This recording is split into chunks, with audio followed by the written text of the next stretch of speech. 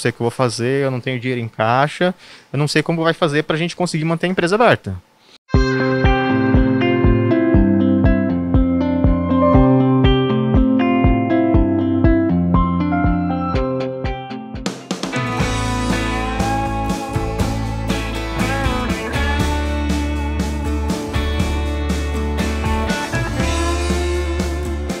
surgiu realmente da família, um negócio bem familiar. E as duas grandes paixões, amores da minha mãe, na realidade, são, são os filhos, né? Que é o Gustavo e o Luiz Otávio. Então foi feita a junção dos nomes, Gustavo, Luiz Otávio, Gu, Lu, que acabou se tornando o, o nome da nossa empresa hoje, né? Que é Gulu Bichos de Pelúcia. A ideia de empreender surgiu a partir do momento que, que eu comecei a me interessar mais pelo assunto. Não foi simplesmente vendo a força de vontade da minha mãe em querer construir um negócio. A partir daquele momento que eu comecei a ver os resultados, comecei a sentir na, na pele mesmo o que estava acontecendo, é, foi a partir desse momento que realmente fiquei extremamente interessado em dar sequência no negócio.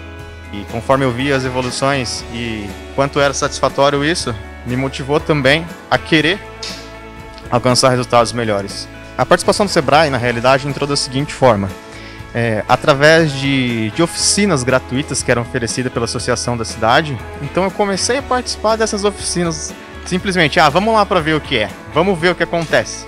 Eu aprendia durante, pesquisava depois e aplicava com o tempo. E com isso eu colhia os resultados seja eles positivos ou negativos, para transformar isso em resultados cada vez melhores.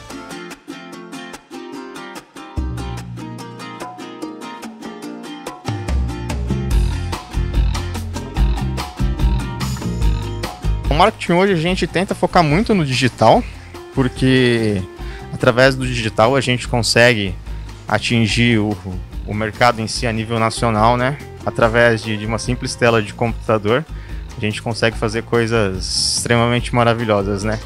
Teve um, um grande valor que a gente conseguiu gerar através de, de consultorias que a gente faz com o pessoal do Sebrae Araraquara. Há um, dois anos atrás, era que a nossa empresa era simplesmente a, a fábrica da Maria Tereza, porque o nome da minha mãe é Maria Tereza, que foi a fundadora, todo mundo conhecia como a fábrica da Maria Tereza. Hoje a gente tenta tirar esse costume das pessoas em falar a fábrica da Maria Teresa e sim reconhecer pela marca Gulu Bichos de Pelúcia. Em 2015 eu iniciei o curso de engenharia de produção, já visando em dar continuidade no, no, no processo, no projeto da fábrica, porque eu via que ela tinha muitas ideias, ela sabia como executar, ela sabia como produzir, ela sabia como criar produtos de extrema qualidade, tanto que esse foi um dos grandes diferenciais que ela conseguia acompanhar o processo de forma excelente, que o resultado final chegava para o consumidor é um produto de extrema qualidade. Nas épocas de queda, acontecia aquele desespero. E era nessas épocas que a, que a minha mãe simplesmente pegava o carro, pegava os produtos que ela tinha criado, desenvolvia uma coisa nova, ia atrás das empresas, ia atrás de lojas e oferecendo e quando via, simplesmente a produção estava lá em cima de novo, porque ela tinha aquele boca a boca, tinha aquela oferta que ela fazia para as empresas, e quando a gente via, estava lotado de pedidos. Eu me sinto realizado com o que tenho, visando que eu tenho muito ainda a crescer.